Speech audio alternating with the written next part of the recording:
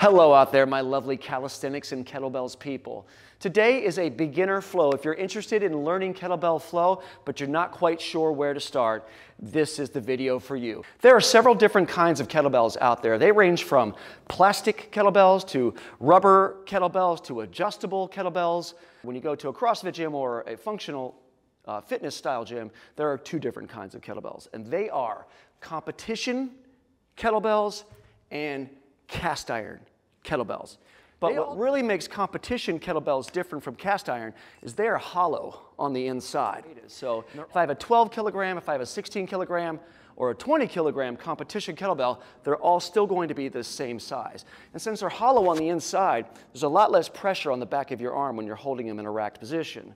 As opposed to a cast iron kettlebell, where the weight will determine the size and they're solid. So when you're holding them back here like so, there's a lot more pressure placed in a smaller part of the back of your arm, making it more intense to hold it in the rack position. But what makes these great is the wider handles. So these are better if you want to hold it with two hands.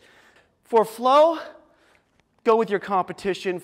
For two-handed style exercises, Go with the cast iron kettlebells. They're made for that. So uh, today's flow is going to consist of one, two, three, four, five, six exercises. Let me go over these exercises really quick just so you're familiar with them before we start up this timer and we get into the flow. So exercise number one, we're going to start off in a staggered position. And so whatever um, arm I'm holding the kettlebell in, in this case my right arm, I'm going to step back on my right foot and I'm going to hinge at the hip. I'm going to tip forward, bending both knees. So I'm going to start off with a row. And so from here I'm just going to pull the kettlebell up and back and then from here I'm going to stand up into the kettlebell and I'm going to perform a squat clean. So as I stand, I'm going to high pull the kettlebell into the racked position and right from there drop right into a squat clean driving as low as I can, think elbow to the knee. Come back up out of the squat clean, and then we're going to cast it off to the right and go into a front swing.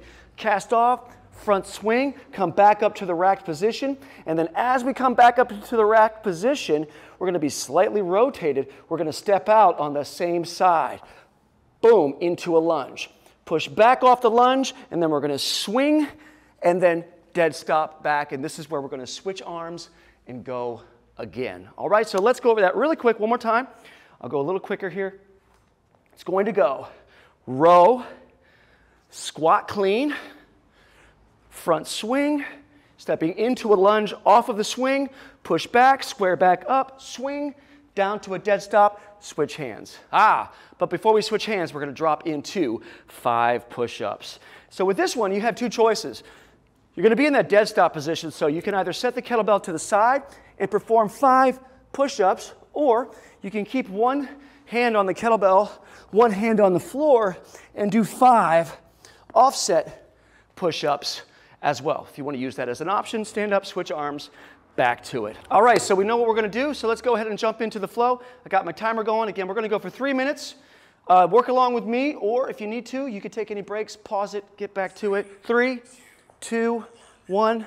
We start first with that row and we pop it into the rack, squat. Then we go front swing, step out, reverse lunge. Come back, swing, dead stop, hand on the kettlebell, push up.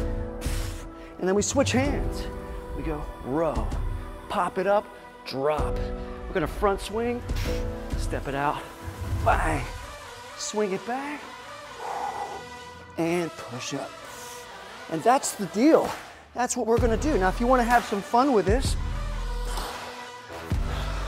you can start adding more reps into some of these exercises. For instance, we can start adding a push-up. Make it two. One, two. And then add a row. Let's make it two. One, two. And then we clean. And then we swing. Step it into that lunge. Swing it back two push-ups. Switch hands, two rows. Pop it, drop, front swing. Step it into that lunge. Swing it back. Let's add a push-up. And one, two, three.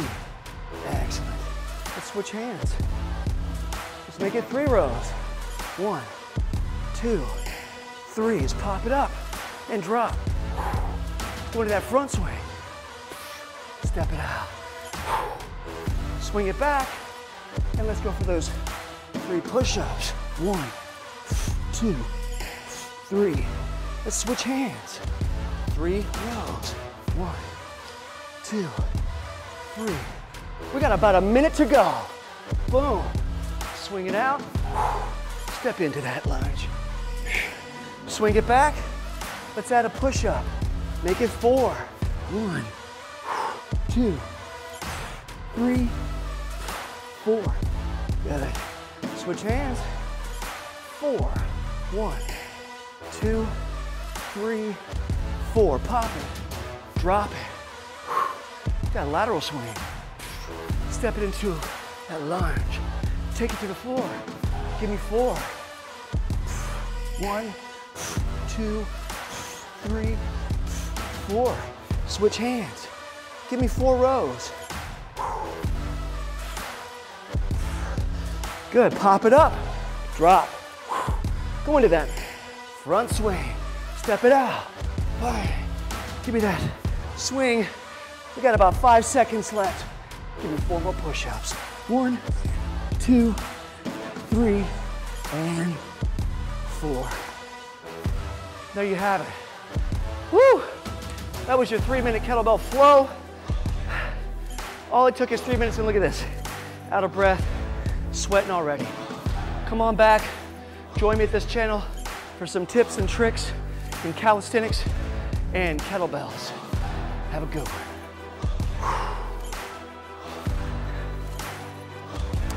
And there you have it. Three minute beginner kettlebell flow. You felt good here? Go back, do it again. Do it a few more times. Get it under your belt. And then join me for a, a slightly more advanced version of some kettlebell flow. Um, I hope you enjoyed it. Please hit like and subscribe. I love comments too. I'll always get back to you if you comment. Come back here, join me for some more tips and tricks on kettlebells and calisthenics.